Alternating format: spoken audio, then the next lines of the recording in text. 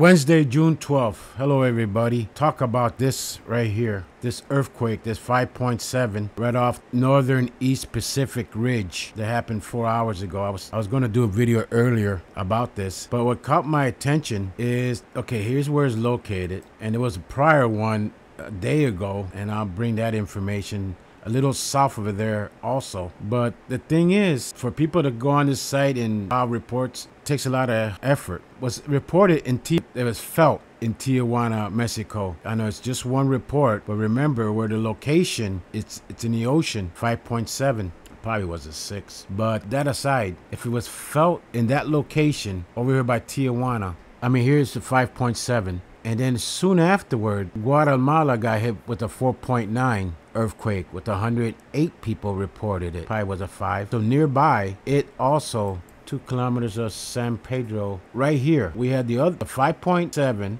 over here where the pointer's at. And then we had this, felt this earthquake soon afterward. Now, if we go back less than 48 hours ago, we had this run right here. This was a, a day and eight hours ago, 5.1. And then we have this one right here, 5.7. Now just bring it down to four category. Now we had this one right here, the 4.9. But this one here, 5.7 was felt over here, report. So it's right in the fault line. So I just thought I'd bring that out. Whatever it is, is moving northward. They already gave warnings already just recently, I think uh, two days ago or a day ago, about uh, 9.0 Somebody wrote about 9.0 possibly happening in the West Coast. Uh, that's what I heard. They're expecting a big one in the West Coast, so they, they know something that they think they know something coming down the pike. So I just thought I'd report this. In other news, we got tremendous flooding over here by St. Petersburg, Sarasota, Tampa Bay area. I have flooding over there by downtown Sarasota, Tampa Bay area. Streets underwater.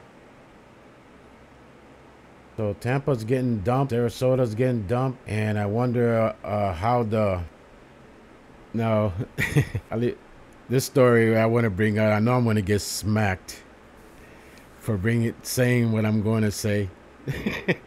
but I'm gonna say it anyways. Remember this story here about the flags and these kids getting charged with uh, felonies and they're just having fun like kids do. By Sarasota, they have a street painted. Tampa, I mean, they made their officers wear that color. And St. Petersburg it reminds me of Katrina when it hit New Orleans when they were celebrating the same thing twice. They got hit. I think it was Rita and Katrina. So apparently coincidence. And I would like to see if it's underwater. Remember, we don't want uh, any charges, felonies, or anything being charged, you know. Guys, just thought I threw this out there as a connection, in my opinion. I mean, what they're doing with the children is evil. So many things people don't know that I can't report, that I can't talk about, but a lot of you know what I'm talking about. Yeah, this is the article I was talking about. Just, it was posted on the 10th. Major fault line off West Coast could trigger catastrophic 9 magnitude, and it's due to go off any minute.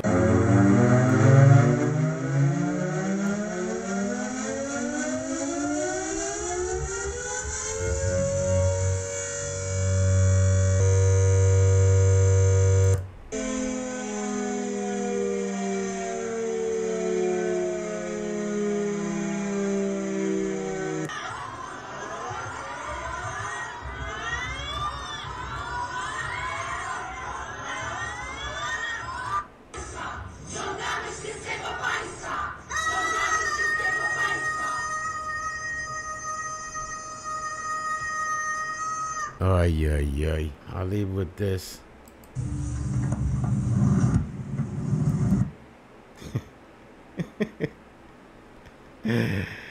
uh, boom. Adios.